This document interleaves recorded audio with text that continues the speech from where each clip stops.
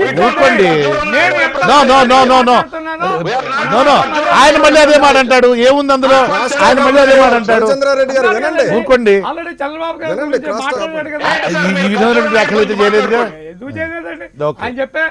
ఆయన ఉంచారు దేనికి ఉంచారు. ఏం మాట్లాడతారు రవి? ఎందుకు మాట్లాడావు సార్? మీరే కదా చెప్పారు ఆయన ఫెయిల్ ఆయన ఫెయిల్ అయిన నువ్వు నెట్ కొనసాగించారు లాయర్ల కోట్లాది రూపాయలు ఇచ్చి ఎందుకు ఆయన్ని పట్టుకొచ్చుకున్నారు.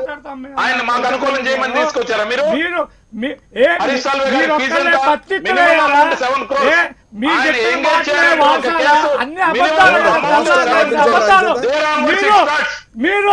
పద నలభై మూడు వేల కోట్ల ముద్దాయిలయ్యి దాని గురించి. ఎందుకండి?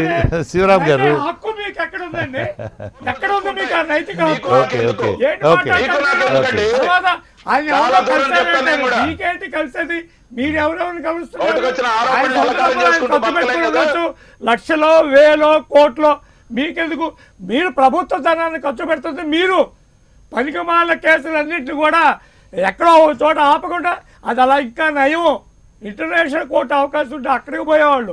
అక్కడ ఎన్ని లక్షల డాలర్లు ఎన్ని కోట్ల డాలర్లు తగిలేశారు ఒక పక్క. ఒక ప్రక్కేమో ఒక ప్రక్కేమో రూపాయి పావులు కూడా. లేకుండా అప్పుల కోసం ఎవరో తిరుగుతా? ఉన్న పరిస్థితి మన రాష్ట్ర పరిస్థితి మీరు దానికి. ఇది ఈ విధంగా ఎక్కడ లేని డబ్బులన్నీ ఖర్చు పెడుతూ ఖర్చులన్నీ ఓకే, ఖర్చు పెడుతూ ఆ రోజు enough. ఏమేం మాట్లాడారు? మీరు గారు. పార్టీ శివరామ్ గారు. శివరామ్ ఇనఫ్ ఇనఫ్ చాలు చాలు ఇంకా. ఇంకా చాలు. అయిపోయిందిలేండి. వదిలేండి okay? Okay okay boss. Boss Shivaram garu. ఇంకా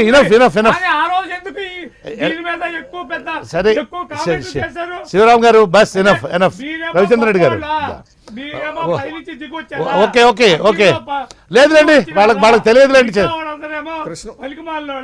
వదిలేసేయండి. Krishnamohan garu. Please please please please. Please please please. Shivaram garu boss boss. Enough. Enough enough enough yeah Ram Prasad garu please please please మేము ఇందాక మూడు పార్టీలు మూడు పార్టీలు అంటున్నాడు. మూడు పార్టీలు మాట్లాడింది మొత్తం అంతా బుల్డోస్ వేసేసారు వారికి నూట యాభై ఒక్క బలం ఉన్నారు. ప్లస్ ఎక్స్ట్రా ఎక్స్ట్రా కొంతమంది ఉన్నారు కదండి ఉన్నారు కాబట్టి. అదంతా పక్కకు పడేసి మీ జాబ్ కూడా ఆయనే మా మీద మూడు క్వశ్చన్లు పడేశారు. మేము అడిగిన దానికి. సరే అయినా పర్వాలేదు. టాపిక్లో ఆయనే అన్నారు. టీడీపీ వాళ్ళు బీజేపీ వాళ్ళు కలిసి గదిలోకి వెళ్ళామన్నారు. ఎక్కడ వెళ్ళారంటే చూసారో ఆయన దగ్గర సమాధానం లేదు. సరే ఇంకంతకన్నా ఎక్కువ స్ట్రెస్ చేయను. ఒక మాట రాజ్యాంగబద్ధమైన పదవిలో ఉన్న వారిని మనం రాజీనామా చేయమని అడిగే అవకాశం ఉందా? లేదు. రవిచంద్ర రెడ్డి గారు కూడా అలా మాట్లాడితే ఎలా సార్. సరే. మమ్మల్ని అడగమంటున్నారు కదా. మీరు చేసే పనులు మేము నచ్చక మీ ఎమ్మెల్యేలను రాజీనామా చేయమంటే మీరు చేసేస్తారా మీ చేతిలో ఉన్న పని? ఎందుకు సార్ అటువంటి అంటే ఇవన్నీ అయ్యే పనులు కాదు. మనం టాపిక్ ప్రజలు చూస్తున్నప్పుడు డిబేట్ చేసుకునే ఇష్యూస్ ఏంటంటే అవును కాదు ఏం జరుగుద్ది అనేది కరెక్ట్గా ఎవరి కాళ్ళు స- చెప్పాలి సమాధానం. ఇంకోటి మీ పార్టీ జనసేన అంటే జనసేన మా అలయన్స్ పార్ట్నర్ కాబట్టి నేను మాట్లాడుతున్నాను. మీ పార్టీలు అక్కడ గెలిచేసాయా ఇక్కడ గెలిచేసాయా? అంటే బలం ఉండి గెలిస్తేనే వాళ్ళు పోటీ చేయాలని ఎక్కడే ఉంటుందా? ఖచ్చితంగా అన్ని పార్టీలు వాళ్ళు పోటీ చేస్తారు. ప్రజలకు ఎవరికి ఇష్టమైతే వాళ్ళు ఎన్నుకుంటారు. ఆ హక్కు ప్రజాస్వామ్యంలో వాళ్ళకు ఉంది అంతేకాని మీరు పోటీ చేయకూడదని ఎలా చెప్తారు రవిచంద్రారెడ్డి గారు. మీరు ఇక్కడ పాయింట్ ఏంటంటే కరోనా టైంలో మీరు పెట్టద్దని మీరు అంటున్నారు. కరోనా టైంలో మీకు సారా కనపట్లేదా? ఇసుక ఇసుక ఇసుక పక్కన పడేసి మీ ఇష్టం వచ్చినట్టు వ్యాపారాలు చేస్తుంటే వాటికి కనపట్లేదా? సరే అవన్నీ లేదు ఎన్ని ఎన్ని- ఎన్నికలు వేరు కదా రాంప్రసాద్ గారు. ఎన్నికలు వేరు కదా. ఎన్నికలు వేరు ఇసుక వ్యాపారాలు మిగతా వ్యాపారాల కన్నా ఎన్నికలు అన్నప్పుడు ఎక్కువ రద్దీ ఉంటుంది ఎక్కువ ఎక్కువ ఉంటుంది మీటింగులు జరుగుతాయి.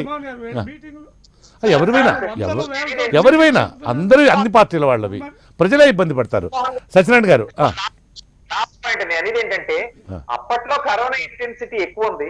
ఇప్పుడు తగ్గుముఖం పెట్టింది.